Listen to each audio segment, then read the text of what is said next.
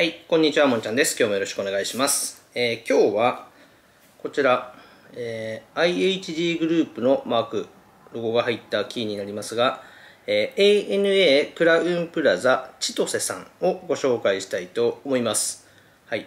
では、早速、お部屋までの様子とお部屋の中の様子撮ってありますので、ご覧ください。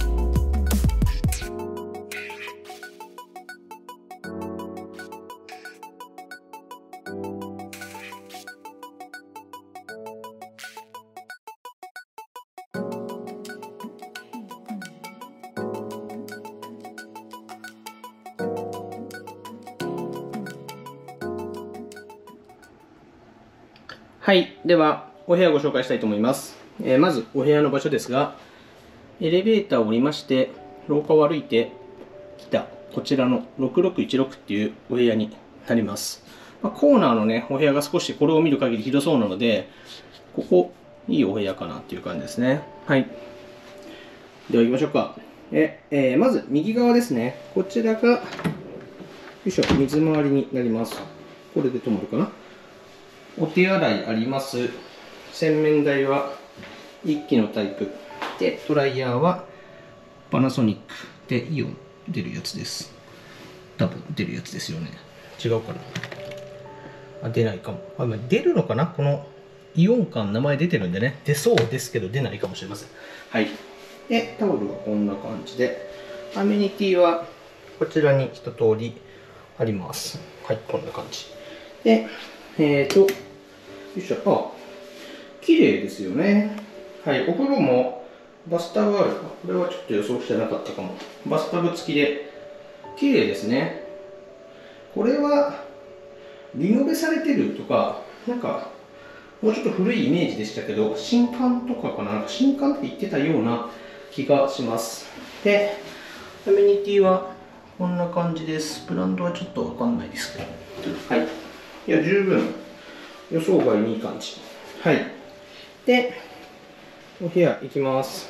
今日は、なんていうお部屋だったかわかんないんですけど、ツインのお部屋です。で、左側がこんな感じ。ちょっと私がね、もう上着をかけてしまってるので、これちょっとこっち寄せましょうか。はい。えー、金庫、アイロン、バスローブもあります。バスローブもあるんですね。はい、ね、アイロンであります。あるんですね。で、パジャマは、えー、ワンピースタイプですね。で、下に、ランドリーサービスの表あります。お、ランドリーサービスもあるんですね。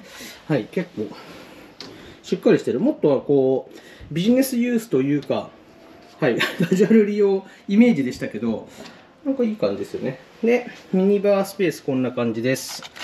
はい、リプトンのイエローレーベルですね。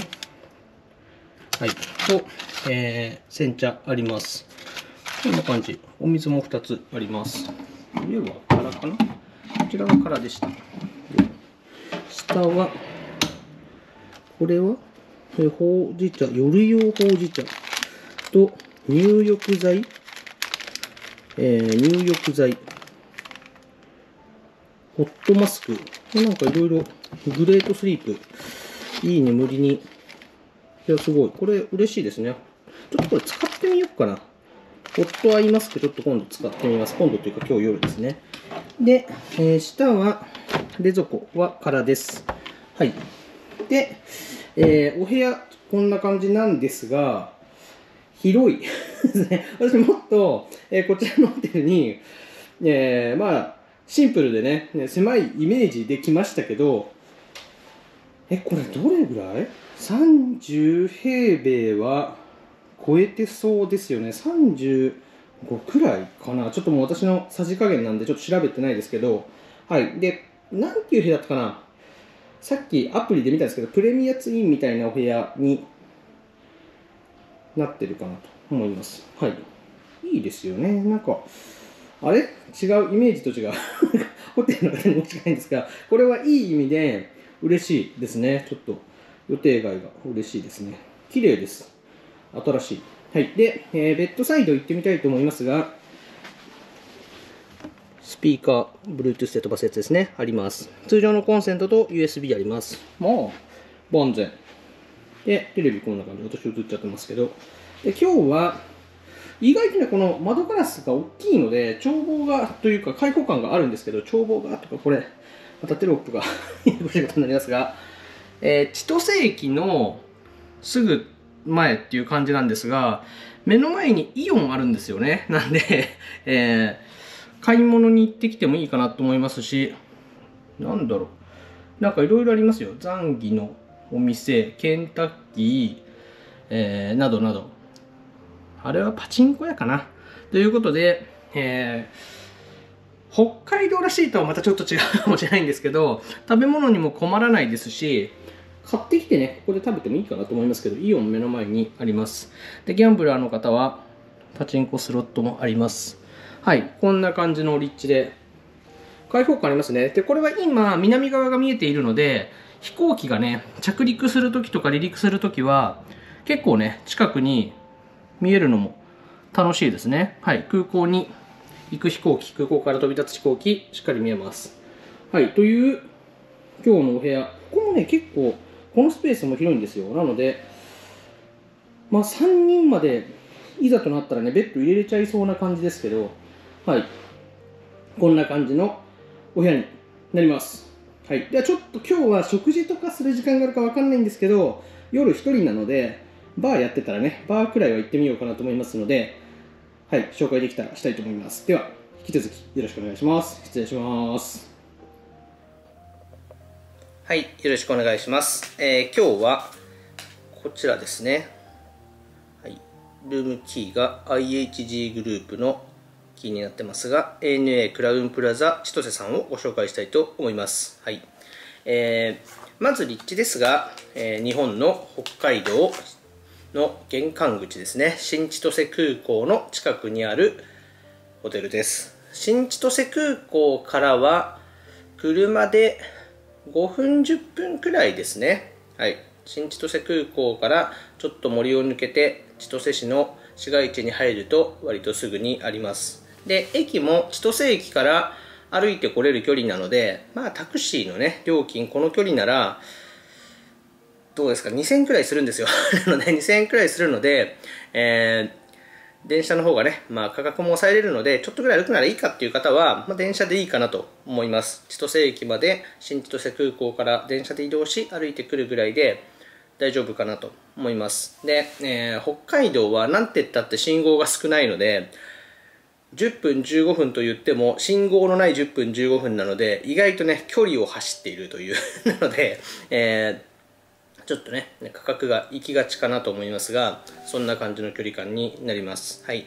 で、えー、こちらの ANA クラウンプラザさんは、ちょっとね、冒頭でお話ししましたが、この IHG グループですね、インターコンチネンタルさんとか、えー、キンプトンさんとか、インディゴさんが加盟している、加盟というか、まあ、入っている グループの一つということで、えー、こちらの会員の方はね、そのステータスとかもご利用できるかなと思いますので、はい。で、えー、今日は実はですね、私は、えー、北海道にちょっと旅に来ていて、最終日に泊まって、えー、翌朝のフライトで、え名古屋にね、戻るっていう状態なんですけど、で、この最後のね、宿泊を実は直前で予約をしたので、あのーそんなにね 動画を撮るつもりでホテル選びをしてないので、新千歳空港の近くで予約したいなと思って探して予約をしたホテルで、実は動画を撮るともり、ともりって言っちゃいました。すいません。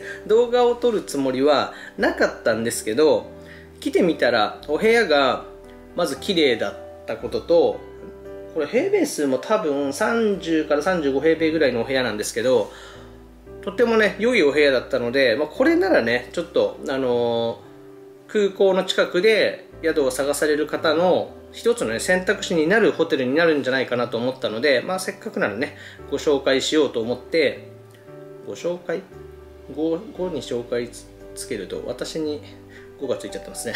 紹介しようと思ってあのー、撮りました。ということでまずお部屋の印象なんですが、まあ、こんな感じで予想以上に綺麗で良かったですね。でこちらのホテルは旧館と新館が今ある状態で、こちら新館のお部屋っぽいんですけど、新館のお部屋が多分全部ね、こんな感じで綺麗なのかなと思うんですが、まあ、清潔感とか、新しいホテルが好きっていう方は、こちらのホテルに泊まるときは、このね、新館側の方を予約するのがいいかなと思います。まあ、予約サイトで見ると、1000円、2000円ぐらいのね、差のことが割と多いので、まあ、1000円、2000円なら、出してもねいいんじゃないかなと私が思うところですかね、まあ、本当に寝るだけとかだったらねその差もまあいらないかっていう方も多いかなと思うんですがちょっとね夕食前ぐらいから来て、え、10時とか11時までいらっしゃるっていう方はこの差はね払った方が満足度が高いんじゃないかなっていうのが私の率直な印象です。はい。で、その他、ホテルの良いところは、まず、ファミリーマートがえー、入っているので、コンビニがあるのってね、結構便利だなと思います。で、空港近くのホテルに泊まるときに、ものすごくいいレストランで食事をしようとか、いう方はね、まあ、そんな多くないんじゃないかなと思いますので、えー、北海道だとね、特に他のね、日程で、えー、贅沢したくて、あの、ここは最後とか最初っていうことが多いかなと思いますので、そうなるとね、意外とね、まあ、コンビニでいいか っていう感じもね、あるかなと思いますし、飲み物とかも気軽に買えるので、これはこれでね、いいかなと思いました。ということで、え、コンビニが入ってるっていうのが一つ。で、もう一つは、えー、ちょっと出そうと思うんですが、バーに私行ってきたんですが、えーと、こちらのバーで、ビリヤードと、えー、ゴルフの、なんかバーチャルゴルフみたいなやつですか、モニターがあって、ゴルフの練習するっていうところがバーに併設されてるので、これもね、結構面白いなと思いますが、はい。ということで、この綺麗なね、新館の方に、ちょっとそんな面白いバーあったよっていう感じです。で、こちらのバーは、えー、結構ね、ウイスキーを推してる、あのー、バーで、響とか、竹鶴とか、余市とか、まあ、この、日本のね、ねウイスキーをね結構飲めるので私もちょっと載せようと思うんですけど響の、えー、ブラスタムハーモニーですかねと、えー、夜市のえっ、ー、とウッディバニラみたいなやつですかね。を、えー、ハイボールで飲みましたけどいや飲み比べね結構面白いなと思います、えっと、私は普段はブランデーとウイスキーになるブランデー派なんですけど割とね果実酒側が穀物酒より好きなのであのブランデーを飲むんですけど、まあ、せっかくなんでねウイスキーも飲み比べてみようとことことで。でちょっとねまあロックでも良かったんですけど あのまあソーダ割りにねして飲みましたが、まあ、違いね、まあ、そんなに詳しくない私でも分かるぐらい楽しめて、まあ、多分ですよ。あのウイスキー好きな方がいて無知な私が話すのでちょっとあの語るなと思ったら申し訳ないんですけど、えー、響と、えー、余市を飲んでなんか私が飲んでもこれ美味しいウイスキーだって分かるぐらいどっちも美味しかったです。なのでちょっとそのブランデー ブランデーじゃない。ウイスキーがウイスキーの中でねどういう位置づけにあるのか私は詳細わからないですけど私が飲んだ2つはどちらも結構美味しいウイスキーだったんじゃないかなと思います。なんか飲みやすくてはい、良かったですね。まあ、ここでウイスキーの話をしてもしょうがないんで。って感じですけど、はい、ということで、ウイスキーがね、好きな方は特に楽しめるバーかなと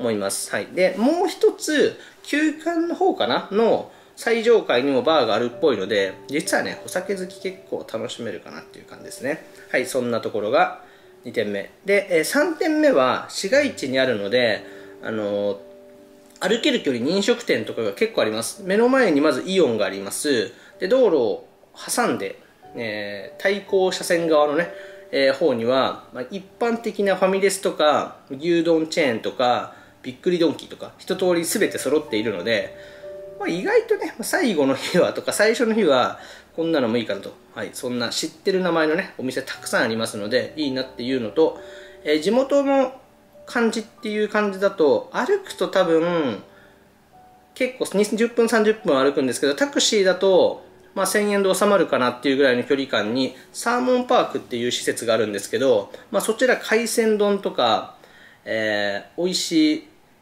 鮭が乗った味噌ラーメンとかですか、えー、そういうのがたくさんあるサーモンパークっていう施設があるのでこちらもおすすめっていうのと、えー、私は冬に来るって今年決めてる場所があって、えーシマエナガですか？白い、めっちゃ可愛いシマエナガっていう、名前合ってますよね？間違ってたらすいません。えー、鳥がいるんですけど、それを見ることが、まあ、割とね、できる、えー、バードウォッチングみたいなことができるカフェが、こちらからタクシーで、こちらも5分、10分くらい、10分くらいかな、10分、15分くらいかかるかもしれないですけど、ぐらいの距離感にあるので、実はね、ここを拠点にできることが、結構あるということで、まあ、そんな楽しさもねちょっといいかなと思う立地だなと思いました。はい。そんな感じですかね。はいあの良、かったですね。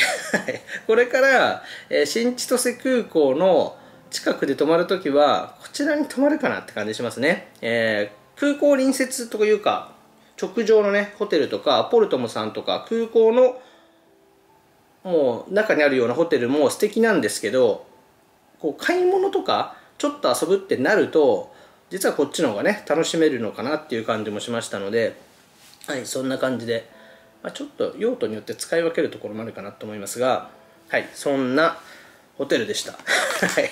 ということで今日は、えー、IHG グループにあります、えー、ANA クラウンプラザさんですね、はい、ANA クラウンプラザチトスター をご紹介しました。